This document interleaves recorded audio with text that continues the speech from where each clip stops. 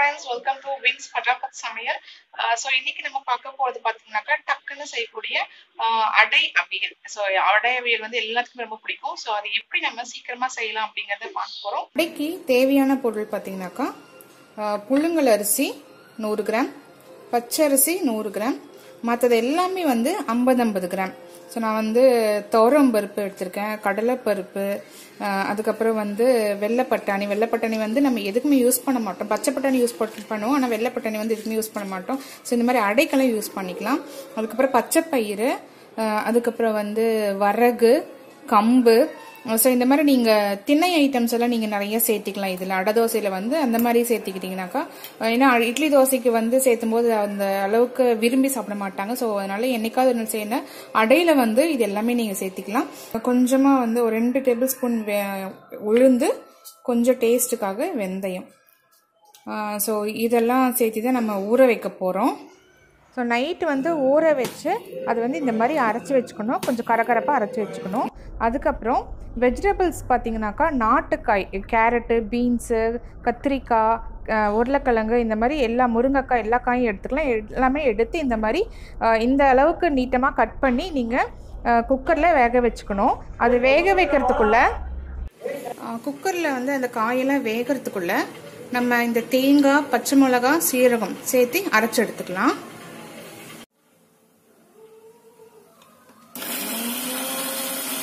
வந்துருச்சு. இப்போ இதை எடுத்து இன்னொரு வெசில் ட்ரான்ஸ்ஃபர் பண்ணிக்கலாம்.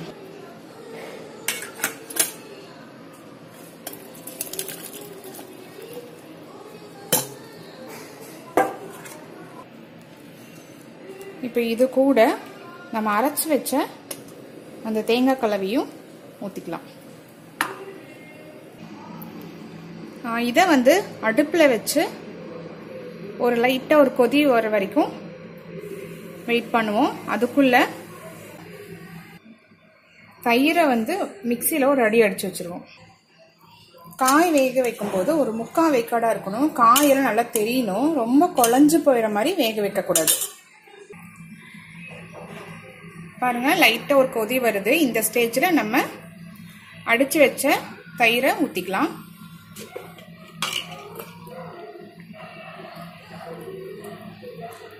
உடனே வந்து அடுப்பை ஆஃப் பண்ணிடுங்க. ஸோ நான் பக்கத்தில் வந்து தோசைக்கல்லும் வச்சுட்டேன். இப்போ அவியல் ரெடி ஆகணும்னு தோசையும் ஊற்றிட்டாக்கா அடாவியல் நம்மளுக்கு சாப்பிட்றதுக்கு ரெடி ஆகிடும் எண்ணெய் சட்டி சூடாயிடுச்சு. இதுக்கு வந்து நான் தேங்காய் எண்ணெய் தான் யூஸ் பண்ணுறேன் இது வந்து செக்கில் ஆட்டின தேங்காய் எண்ணெய். உங்களுக்கு தேங்காய் எண்ணெய் டவுட்டு தேங்காய் எண்ணெய் நல்ல தேங்காய் எண்ணெய் தானே செக்கில் ஆட்டினதானே அப்படின்னு டவுட் வந்துச்சுனாக்கா தேங்காய் எண்ணெய் வாங்கிட்டு நீங்கள் ஃப்ரிட்ஜில் ஒரு நாள் வச்சுருங்க. அதை அடுத்த நாள் எடுத்து பார்த்தீங்கன்னாக்கா நல்லா நம்ம பனிக்காலத்தில் எப்படி இருக்கும் நல்லா கெட்டி ஆகிடும் இல்லையா? ஸோ அந்த மாதிரி ஆயிடுச்சுனாக்கா அது வந்து செக்கில் ஆட்டின தேங்காய் எண்ணெய் அப்படி ஆகலைன்னா அது வந்து செக்கில் ஆட்டினது கிடையாது. ஸோ இப்போ வந்து எண்ணெய் வந்து சூடாயிடுச்சு. இப்போது கடுகு கொஞ்சோண்டு சீரகம்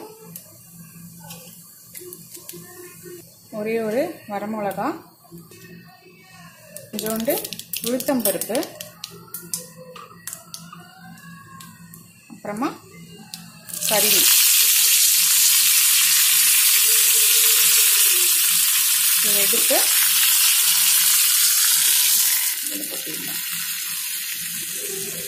ஸோ இப்போ பாருங்கள் நம்ம அவியல் ரெடி ஆயிடுச்சு. இப்போ தோசைக்கல்லும் ரெடி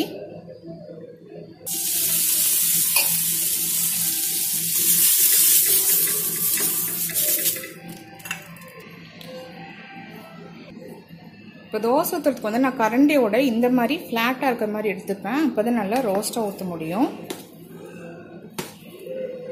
இந்த அளவு கொஞ்சம் திக்காக இருக்கணும். அரைக்கிற இந்த அடை தோசை மாவு வந்து ரொம்ப நைஸாக இருக்கக்கூடாது. நைஸ் ஆகிறதுக்கு ஒரு ஸ்டேஜுக்கு முன்னாடி எடுத்துக்கோங்க. கொஞ்சம் நர நரன்னு இருக்கணும்.